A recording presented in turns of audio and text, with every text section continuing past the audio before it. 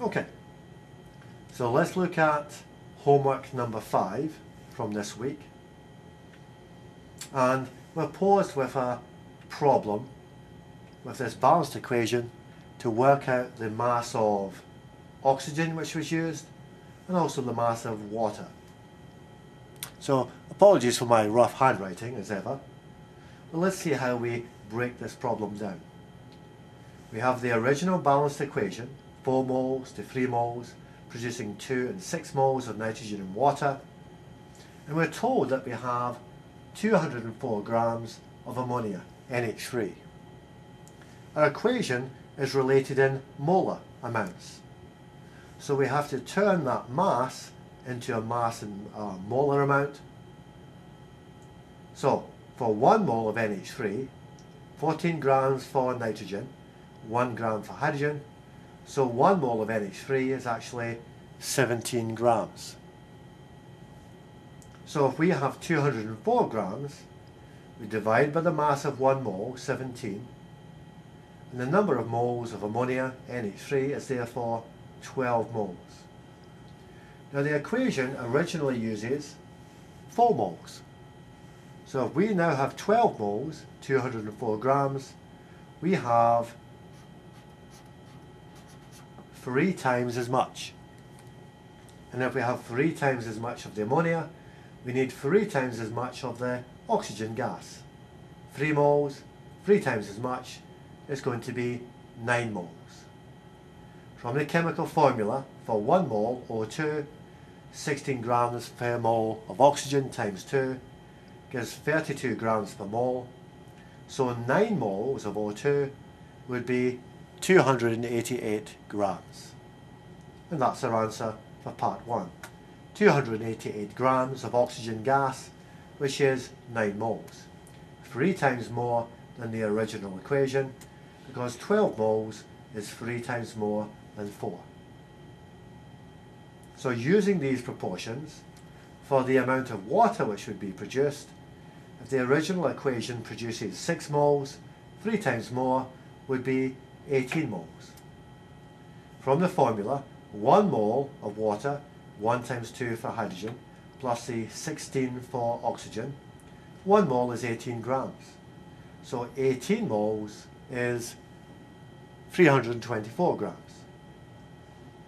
Then for the percentage yield of water, we take the actual recovery of water, 198, divided by the theoretical amount, which we just calculated was 324.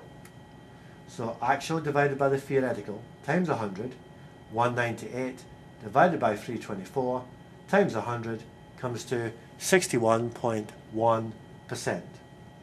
So we've recovered 61% of the water, 198 grams is 61% of the water. Let's look at question 2.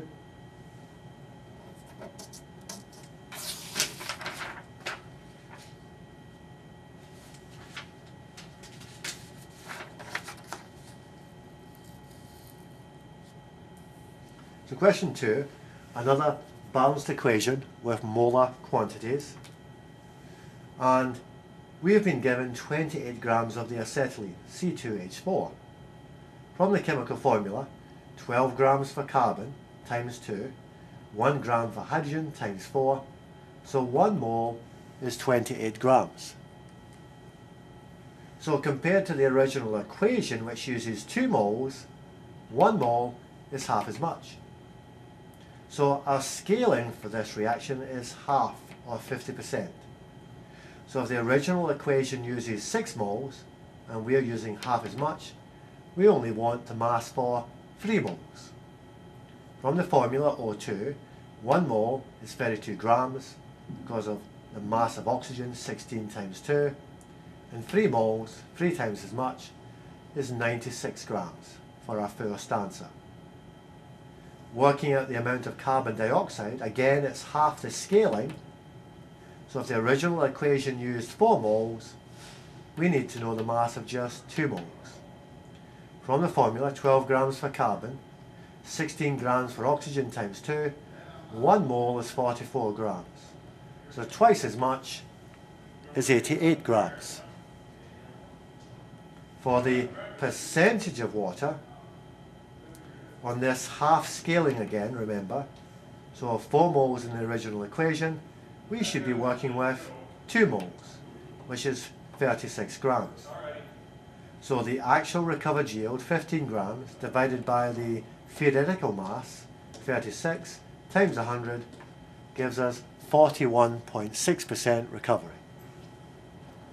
And that's the answer to our third question in question 2.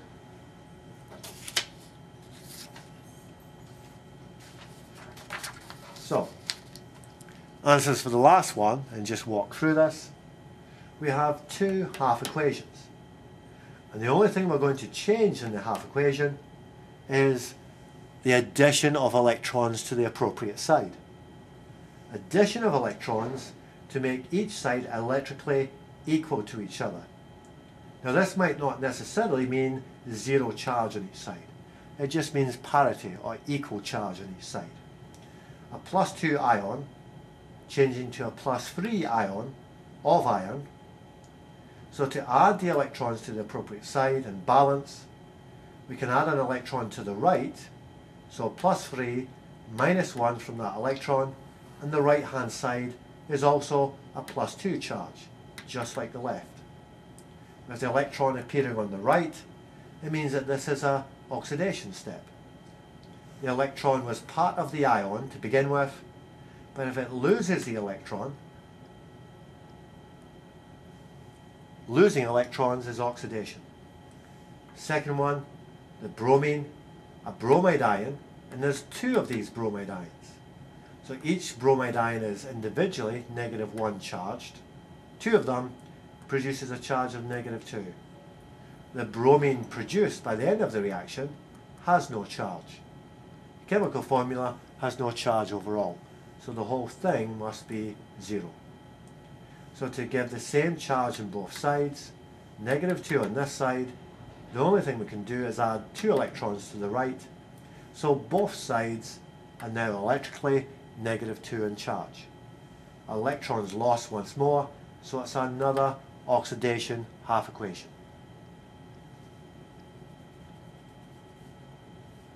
So let's look at the last question, but let's focus in on this part, which is a bit more complex.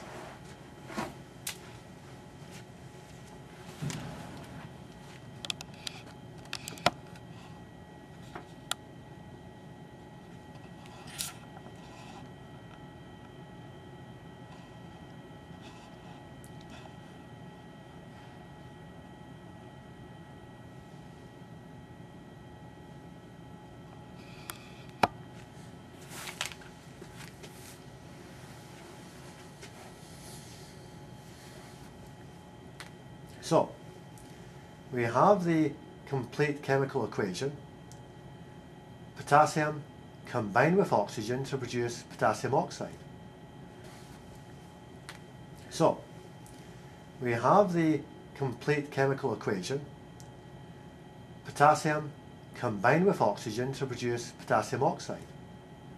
But we have this telltale symbol in the corner that tells us it's AQ or aqueous. From our chapter 3, ion chemistry, on page, might be in page 66 to 69, we have the information that tells us that any compound, any ionic compound, which is aqueous in water, means that it's dissociated into individual ions. So every molecule of potassium oxide contains two potassium ions. In two molecules we have four potassium ions. And each of them is positively charged. Group 1 metal, so a plus 1 charge it loses the only electron in its outer shell. Oxygen, one oxygen ion in each molecule, two molecules, so two oxide ions. And again from the periodic table, oxygen gains two electrons to complete its shell. So when we look at potassium, it's more correct to look at potassium turning into potassium ions. And to balance the two sides with the appropriate number of electrons, we need to add four electrons to the right. Each potassium ion is plus 1. Four of them gives us a plus 4 charge. So 4 electrons, 4 negatively charged electrons, cancels out to 0, just as each of these potassium atoms is electrically neutral. For the oxygen, going to oxide ions, so we write it out in its second half equation, 4 electrons added to the left gives us a negative 4 charge overall on the left, just as the negative 2 charge 2 times over makes the right hand side negative 2. So as we look at the two steps, electrons lost by potassium, so this is oxidation, electrons gained, picked up by the oxygen to form oxide ions, the oxygen has been reduced. And that completes our redox question.